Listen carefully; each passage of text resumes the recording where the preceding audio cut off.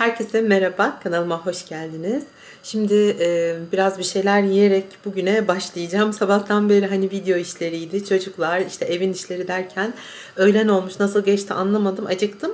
Pırasa yiyeceğim. Tam aralıklı oruç yapamıyorum, daha tam başlayamadım, onu itiraf edeyim ama ben hani e, daha önce de öyle yapmıştım e, biliyor hatırlıyorsanız. Hani birden pat diye diyete başlayamıyorum. Böyle alıştıra alıştıra azalta azalta hani gidiyorum. Bu arada yorumlarda ilk defa pırasayla ilgili çok yine benzer bir şey duydum. E, pırasayı balkonda pişiriyorum dediniz. Yani çok mantıklıymış. Ertesi gün bile ev pırasa kokuyordu. Anneme çıktım. Buraya geldim kapıdan içeri girdiğimde pırasa kokusu aldım. Yani balık bile bu kadar kokmuyordu. Balkonda pişirmekte haklıymışsınız. Onu da böyle söyleyeyim dedim. Bir dahakine belki deneyebilirim yani. Şimdi yemeğim ısındı. Hemen e, onu alayım. Evet şimdi bir şeyler atıştırıp sonra günün geri kalanına devam edecektim. Gördüğünüz gibi bol acılı. Kendimle ilgili e, geçen aklıma geldi. Sizinle paylaşmak istediğim e, dört tane şey var. Birincisi çok fazla acı severim ve hani acının en en acısını bile yiyebiliyorum. Hani babamla yarışabiliyorum o konuda.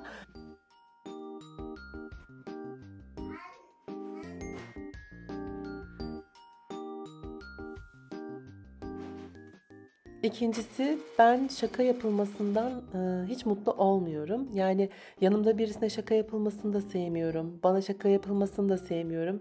Şakayı hiç sevmiyorum. O yüzden e, yani evde de kolay kolay kimseye kimseye şaka yaptırmam. E, yaparlarsa da hemen şakanın doğrusunu söylerim ki o süreci yaşamak istemiyorum.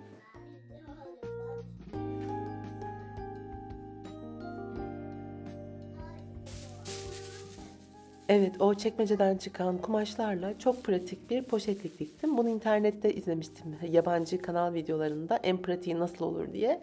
Böyle bir şey gördüm. Bana da mantıklı geldi. Lastik dikmiş hani başıyla sonuna. Ee, kullanışlı oldu benim için. Onu daha duvara çakacağım çivi çakıp. Şimdilik birazdan çekmeceye koyacağım ama çekmecenin e, kulpuna sabitleyeceğim. E, böyle kullanışlı tatlı bir e, poşetliğim oldu.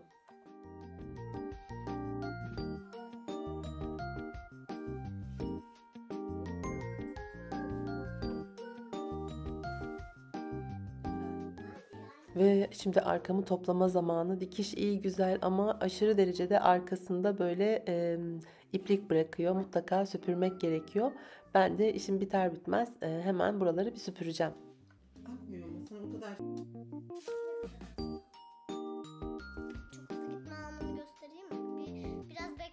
Kızlar slime oynuyorlar yine. Allah'tan oynamayı öğrendiler. Herhangi bir yere bulaştırmıyorlar.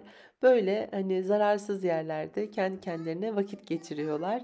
Ellerine falan yapışıyor zannediyorlar. Sonra bana iş oluyor. Onların ellerini ayıklamam gerekiyor ama e, güzel oyalandıkları için ben de o arada e, iş aradan çıkardığım için hiçbir sorun yok.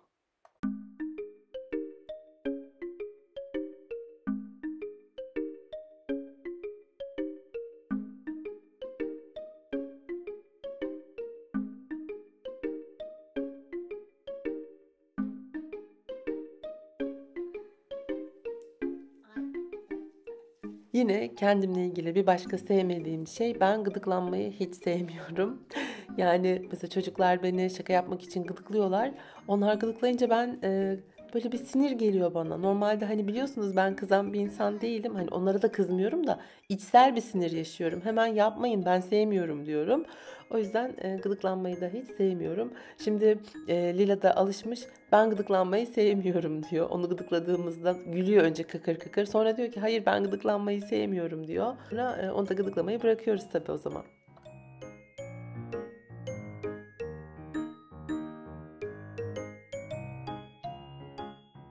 Kendimle ilgili başka bir son özellik dördüncüsü ben çocuk ağlarken görünce ağlıyorum. Yani bir çocuk ağlıyorsa o an e, çaktırmadan gözlerim mutlaka dolar ve onu silerim. Ben de ağlıyorum. E, hava da o kadar soğuk ki aslında dışarıda işlerim var ama dışarı çıkamıyorum. Yarın kızları okula gönderebilirim. Ee, o şekilde işlerimi halledebilirim. İpek zaten çok gitmek istiyor. Bugün zor tuttum evde. Bugün daha iyi. Yemeklerini yedi. ikna oldum daha iyi olduğuna. Şimdi çok uzun zamandır bunu yapmak istiyordum. Şimdi kızların bazı eksikleri var. Giyim, kıyafette hep böyle diyorum ki hani şunu alacağım bunu alacağım diyorum ama e, liste yapmadan alışveriş yapmıyorum ben uzun zamandır. Hani yazarak e, e, alışveriş yapıyorum ki daha sistemli olsun. Çekmecelerinde giymedikleri şeyler olduğunu gözlemledim. Hiç elleri ona gitmiyor. Büyük gelenler var, küçük gelenler var. Uzun zamandır çekmecelerine bir el atmamıştım. Şimdi e, çekmecelerine e, düzenlerken size de göstereyim istedim. Belki yapmayanlar, erteleyenler varsa size de fikir olsun. Bir an önce bir el atıp e, oradaki fazlalıklardan kurtulalım. Bugün evden neler çıkacak, hangi parçalar gidecek bakalım. Dün evden e, çıkardığım parçalar şu an burada. Onları da göstereceğim size. Anneme çıkaracağım.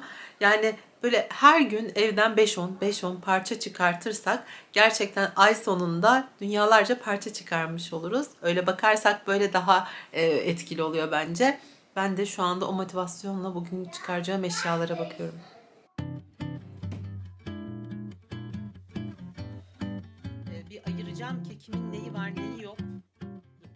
Şimdi bitmeyen minimalizm sürecimin bir parçasını daha görüyorsunuz. Geçen gün hani evde iş bulamadığınızda siz ne iş yapıyorsunuz dediğimde e, birçok kişi de hani eşya ayıklıyorum demişti. O bana çok mantıklı geldi. Aslında benim yapacak çok işim var. Biri de demişken yapacak iş bulamamak ne kadar güzel bir şey. Hayır aslında çok fazla yapacağım iş var ama yani uygun ortama göre iş yapmaya çalışıyorum. Hani zamanıma göre çocuklu bir ev sonuçta çocukların durumuna göre. Eğer hani çocuklarım olmasaydı ya da işte gün boyu evde olmadıkları bir ortamım olsaydı çok çok daha farklı işler yapardım. E, o yüzden biraz süre odaklı ilerliyorum bu işleri seçme konusunda. Bugün de kendime uzun zamandır istediğim bu dolabı ayıklama, eleme e, işini verdim. Benim için çok verimli olacak. O yüzden şimdi çekmecelerimi düzenliyorum.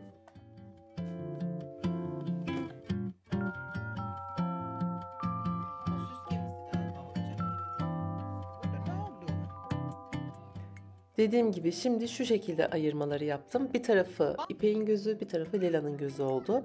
Buraya İpek'in kazaklarını, kazağının yanına da onun yanına da boş kalan yere pantolon alt kombinlerini koyacağım ki bunlar okula giderken giyeceği kıyafetler. Bu çekmece normalde alt çekmecesiydi. İkisinin karışıktı ama artık iş bayağı karıştığı için e, giymedikleri şeyler de var. E, giydikleri ama küçük gelen de şeyler var. Bir de İpek tabii hani buraların bu arada düzenli tutamama sebebim hani İpek, çocukların karıştırıyor olması. Ben bu durumdan rahatsız değilim. Sürekli düzenli kalamıyor. Ee, şimdi tam da düzenleme zamanıydı. Çamaşırları yıkamıştım. Bir de şimdi ayarlıyorum.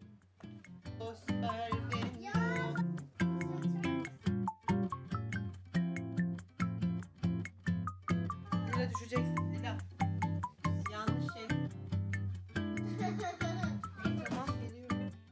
Mesela benim daha işim bitmeden kızlar biraz sıkıldılar. Bir markete de gidecektim zaten. Araya bir market molası verdim.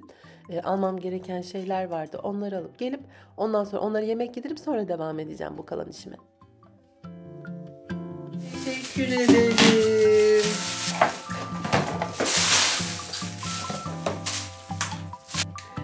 Şimdi A101'den aldıklarımı göstereceğim. Patates soğanı koymak için bunu aldım. Ben çok fazla stoklamıyorum onları. O yüzden bu bana yeter gibi geldi. Ee, burası sürgülü. Bir de bozuğu mu almışım? Ee, yağlı konusunda bir sürü şey denedim. Hiçbirinden memnun kalmadım. Bunun görüntüsü çok hoşuma gitti. Kapağı da mantar değil. Mantar kapak da ben sevmiyorum yağda. O yüzden birine zeytinyağı, birine de e, sıvı yağ koyarım diye düşündüm. Hem yerden de tasarruf, az yer kaplıyorlar. Umarım akıtmazlar. Bir de benim e, böyle bir şeyler ısıtmak için, süt ısıtmak için vesaire bir cezveye ihtiyacım vardı. Bu cam cezveleri çok beğeniyordum. Daha önce hiç kullanmadım. Hiçbir fikrim yok. Ama e, bakalım nasıl olacak tecrübelerimi paylaşırım. Bunları aldım geldim. Aa bir de bunları aldım tutacak. Benim tutacağım yoktu. Bunlar işe yarıyor mu bilmiyorum. Fırından çıkan şeyleri böyle havluyla taşıyacağım ama iki tane bundan aldım. Bir elime birini bir elime birini. İki tane var burada bak çıkar. Çek. Tamam. Birini bir elime birini bir elime. Bak. Anne ben birlik, bir, birlik sandım. O iki tane.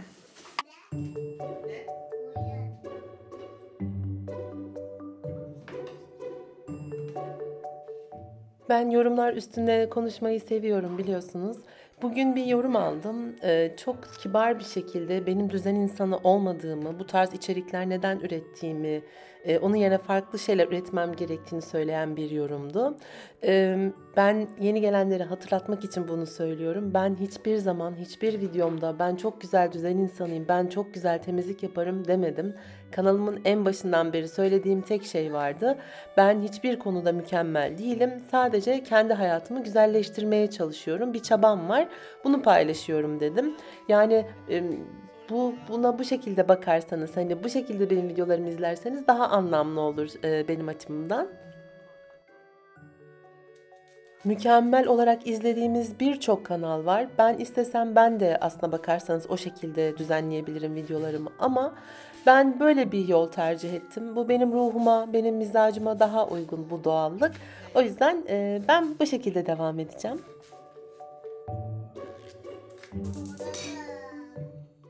Akşam yemeğine şimdi mantar söte yapacağım. Söyleme sayıp olmasın. Yanına da makarna yapacağım. Çocuklara da köfte vereceğim. Onlar mantar yemiyorlar tabii ki. E, tam aslında bunu hazırladım. Sonra e, eşim aradı. Çay Cuma'ya geçecekmiş. Hani orada abisi var. Onlarla görüşecekmiş. O yüzden e, yemek kaldı ama en azından bir sonraki günün yemeği hazır olmuş oldu. Artık yarın geldiğinde veririm.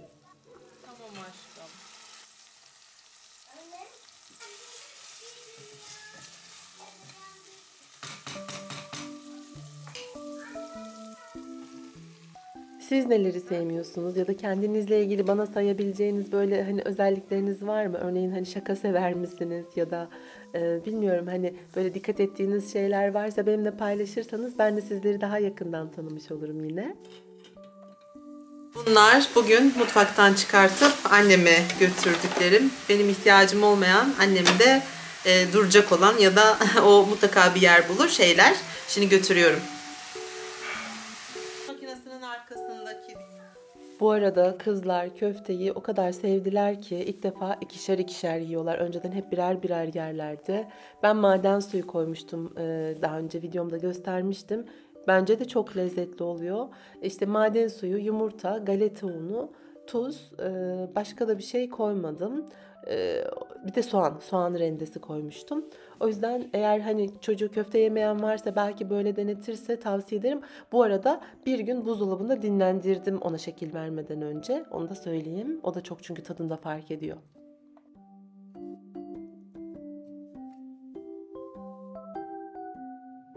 bu yaptığım iş o kadar verimli oldu ki benim için. Yani mesela e, Lila'nın e, günlük kıyafetinin daha az olduğunu gördüm. İpek'in de pijama eksiği olduğunu gördüm.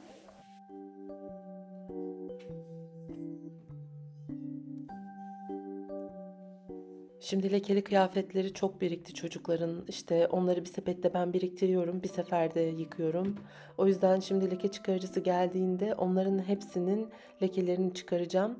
Ee, ve e, onları da dahil edeceğim. Ondan sonra en sonki karar vereceğim. Biraz da çok az renklilerde çamaşır vardı. Onları da yıkayayım, yerleştireyim ve bir alışveriş listesi yapayım. İsterseniz onu da gösteririm yine o zaman.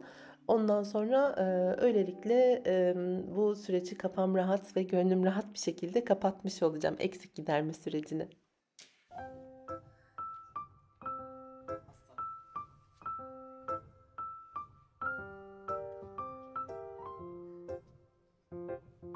Gün sonunda bunlar çocuklara büyük gelip kaldıracaklarım. E, seneye kış belki açarım. Zaman zaman kontrol edecek olanlarım. Bunlar kaç parça? 1, 2, 3, 4, 5, 6, 7, 8, 9, 10, 11, 12, 13 hiçbir şekilde giymedikleri ve artık küçük gelenler, tam gelmeyenler. Bunlar da e, evde bırakacaklarım. Bunlar yelekler. Yelek çok giyiyorlar. Bunlar kapşonlar. Parka giderken üstüne alıyorlar. Bunlar da rüzgar montları. Ee, şurada da 3 tane hırka var. Her zaman e, giyilecek klasik. Beyaz, e, siyah, pembe. Bunlar da e, bize kalanlar o e, karışık çekmeceden.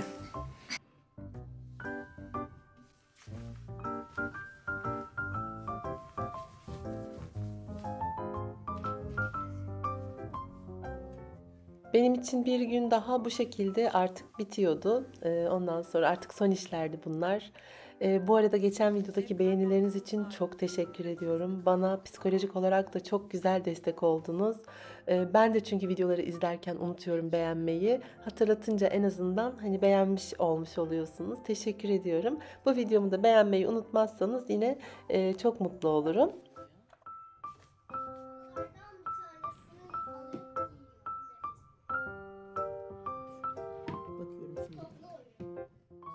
Evet, bu benim için huzur verici olan görüntüyle e, bu videonun da artık sonu geldi. Vakit ayırıp izlediğiniz için çok teşekkür ediyorum. Hepinizi gerçekten çok seviyorum. E, yeni bir videoda görüşmek üzere. Kendinize çok iyi bakın. Mutlu kalın canım arkadaşlarım.